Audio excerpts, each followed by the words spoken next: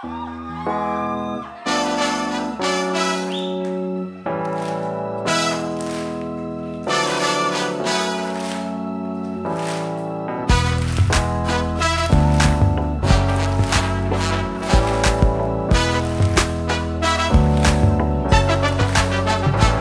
tengo un pedo. Mi novia tiene tres semanas de retraso y la neta yo no estoy listo para un embarazo. O sea, la quiero mucho y la relación está al putazo. Pero paso, güey, está cabrón, no por ser culero. Me parto el lomo para poder sacar dinero y lo poquito que me gano se lo invierto a ser rapero. Pinche esmero, conseguir un título universitario para que caiga un morro y no me alcance mi salario. Me estoy maltripeando con óvulos y ovarios. Ya tengo los resultados y no los quiero leer.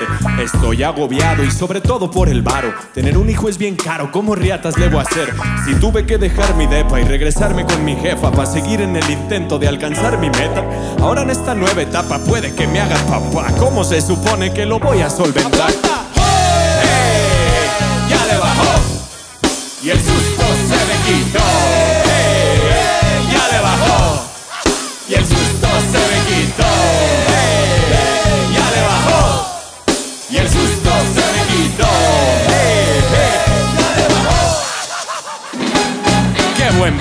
Al chile ya me había mentalizado y eran muchas coincidencias para no haberle embarazado. Incluso hasta cagando en el empaque del papel me aparecieron las señales, dibujitos de bebés.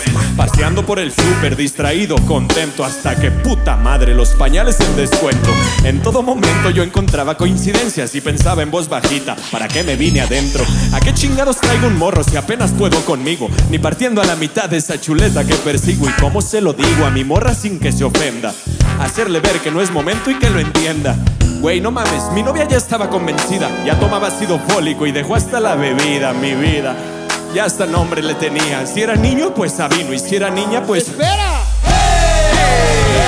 Ya le bajó y el susto se me quitó. ¡Hey! Ya le bajó y el susto se me quitó.